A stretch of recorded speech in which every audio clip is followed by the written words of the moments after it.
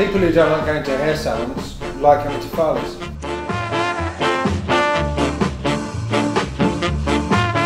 I became a hairdresser so I could listen to my own music all day, every day.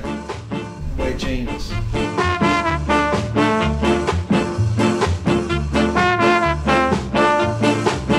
Basically, this is my like my living room. You have a cuppa, listen to good music. It's a chill, it's a chilled, relaxed place.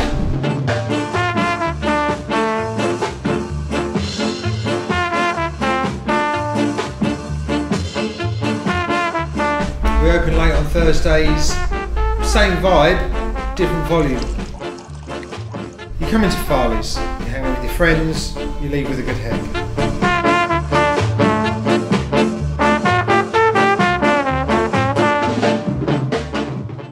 Get out, we're filming! Get out! Get out!